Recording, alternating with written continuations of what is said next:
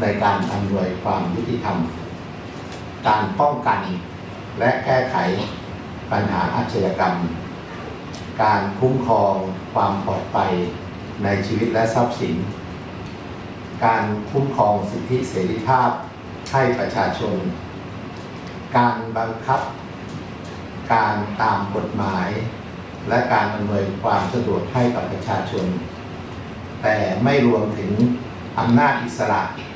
ในการพิจารณาพิพากษาอัตคดี และการดำเนินงานหน่วยงานอิสระตามรัฐธรรมนูญเป็นความหมายที่เกิดขึ้นมาตั้งแต่ปี 2559 นะครับ 49 เป็นเวลา 20 ปีแหละเกือบเกือบ 20 ปี และมาในช่วงหลัง เราจะได้ยินคำว่ากระบวนการยุติธรรม แต่เรื่องนี้การบริหารงานยุติธรรม ซึ่งสองสองคำเนี่ยก็เป็นเรื่องที่คำหลังเนี่ยได้ถูกบรรจุไว้ในรัฐธรรมนูญเลยนะครับคือในหมวดปฏิรูปประเทศในด้านที่สี่คือ การปฏิรูปกระบวนการยุติธรรม ชื่อ ผมคิดว่ามีความสำคัญ หลักสูตรการบริหารงานยุติธรรมระดับสูง ระดับสูงเนี่ยถ้าตามพระบัญญัติระเบียบบริหารข้าราชการพลเรือน 2551 ก็จะหมายถึงหัวหน้าส่วนราชการระดับกระทรวง ก็คือระดับสูงก็คือปลัดกระทรวง หรือเทียบเท่า หรือรองหัวหน้าส่วนราชการระดับกระทรวงที่ที่อาจจะเป็นรองประหลัดรวมถึงหัวหน้าส่วนราชการระดับกรมก็คืออธิบดีหรือเทียบเท่า ก็เช่นท่านผออ สำนักกิจการยุติธรรม จริงๆหลักสูตรนี้ก็คือหลักสูตรน่าจะเตรียมเป็นผู้บริหาร ผู้บริหาร สิ่งที่ผมอยากจะฝากเป็นประเด็นไว้สักสามประเด็น ที่อยากจะขอในการไปสู่หลักสูตรครั้งนี้หลังจากจบการอบรม อยากให้เห็นภาพ เนื่องจากการบริหารงานยุติธรรมระดับสูง สิ่งที่อยากจะฝากถึงความสำคัญไว้สักสามประการคือประการที่หนึ่งเนี่ยผู้บริหารระดับสูง จะเรียกว่าในฐานะผู้นำในกระบวนการยุติธรรม โดยเฉพาะ บางท่านที่มาจากตำรวจเนี่ยเขาบอกในบรรดาคุณสมบัติที่สำคัญที่สุด ของการบริหารกระบวนการยุติธรรม และตำรวจเนี่ยก็คือภาวะผู้นำเพราะผู้นำเนี่ยถือว่าเป็นดวงประทีปขององค์กร เป็นตัวแทนขององค์กร และเป็นจุดรวมแห่ง พลังร่วมของบุคคลในองค์กร วันนี้ถ้าคนเคยเรียนที่โรงเรียนในร้อยตำรวจก็จะถูกอสอนว่าจะมีการยกตัวอย่างภาวะผู้นำถ้าจำไม่ผิดก็พลเอกโอมานแบดเล่ซึ่งท่าน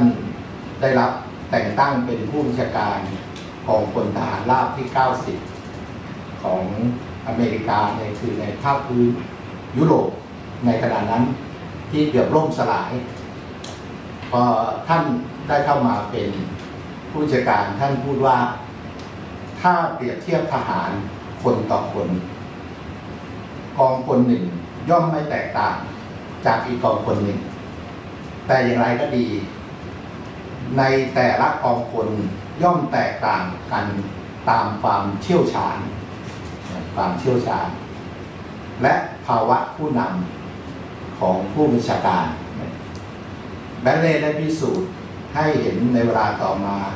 หลังจากท่านได้เข้าเป็นผู้บัญชาการกองพลทหารราบที่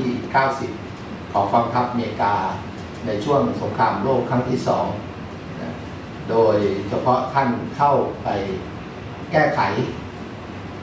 ปัญหารายประการโดยเฉพาะผู้บังคับบัญชาในระดับต่างๆ ได้ประสบความสำเร็จจากกองทัพที่พ่ายแพ้มาตลอด ในการลบภาคพื้นยุโรปครั้งนั้น ก็ได้ถูกแปลสภาพเป็นกองกำลังที่แข็งแกร่งที่สุด แล้วก็สามารถอยู่ในสมรภูมิยุโรปจนเป็นที่ยอมรับ ถ้าเราจะเปรียบเทียบในปัจจุบันให้ง่าย ให้เท่าเท่ากันก็คือ ทีมฟุตบอลหลายคนจะดูทีม จะมี 11 คนเหมือนกัน ผู้นำก็คือโค้ชผู้จัดการทีม เราจะเห็นว่า ภาวะผู้นำจึงมีความสำคัญในการพิจารณาตัวบุคคล ผมจึงอยากจะฝากผู้บริหารระดับสูง ของกระบวนการของงานยุติธรรม เพราะวันนี้ความยุติธรรม เป็นสิ่งที่ไม่ว่าคนจะยากดีมีจน คนจะร่ำรวย หรือคนจะยากจน สิ่งที่ทุกคนต้องการก็คือความยุติธรรม ความยุติธรรมอาจจะเป็นถึงศักดิ์ศรีความเป็นมนุษย์ ความยุติธรรม อาจจะเป็นศูนย์รวมของความสามัคคีเป็นการรวมตัวกัน โดยเฉพาะทุกท่านที่มาจากหลายองค์กร โดยเฉพาะที่บอกว่าเรามาจากพระราชบัญญัติการพัฒนา การการพัฒนาการบริหารงานยุติธรรมแห่งชาติ ซึ่งในพระราชบัญญัติดังกล่าวเนี่ย มีองค์กรบุคคลถึง 36 คน ที่เป็นคณะกรรมการศาลก็มีทั้งศาลยุติธรรมศาลปกครอง แล้วก็รวมถึงศาลรัฐธรรมนูญด้วยเนติบัณฑิตยสภา มีทุกหน่วยตำรวจทหารทุกคนเข้ามา เพราะว่าเราต้องการให้ กระบวนการยุติธรรม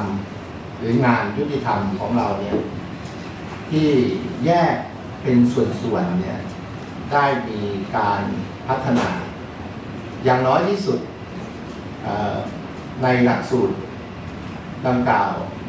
หลักสูตรนี้ก็คือต้องการจะยกระดับหลักนิติธรรม